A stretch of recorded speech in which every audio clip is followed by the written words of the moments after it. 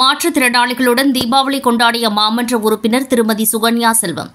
சென்னை பெருநகர மாநகராட்சிக்குட்பட்ட நூற்று ஒன்பதாவது வார்டு மாமன்ற உறுப்பினர் அலுவலகத்தில் மாமன்ற உறுப்பினர் திருமதி சுகன்யா செல்வம் அவர்கள் தலைமையில் மாற்றுத்திறனாளிகளுடன் தீபாவளி கொண்டாடப்பட்டது. மேலும் இந்த நிகழ்ச்சியின் சிறப்பு அழைப்பாளராக ஸ்ரீநிதி சிதம்பரம் வழக்கறிஞர் சங்கத்தின் தலைவர் மோகனகிருஷ்ணன் ராஜா வி. ஜெயபாலா ஆகியோர் கலந்து கொண்டு மாற்றுத்திறனாளிகளுடன் பட்டாசு வெடித்தும் இனிப்புகள் வழங்கியும் தீபாவளி கொண்டாடினர். மேலும் ஒவ்வொரு ஆண்டும் தீபாவளி கொண்டாடுவது வழக்கம். இந்த வருடத்தில் மாற்றுத்திறனாளிகளுடன் மகிழ்ச்சியளிக்கும் வகையில் நலத்திட்ட உதவிகள் வழங்கி சுவையான விருந்து அளிக்கப்பட்டது. மேலும் இந்த நிகழ்ச்சியில் காங்கிரஸ் கட்சியின் ஆயிரம் விளக்கு பகுதி தலைவர் கராத்தே செல்வம் மற்றும் மோகன் பாஸ்கரன் கார்த்திக் விக்டர் உள்ளிட்ட காங்கிரஸ் கட்சியின் நிர்வாகிகள் கலந்து கொண்டனர்.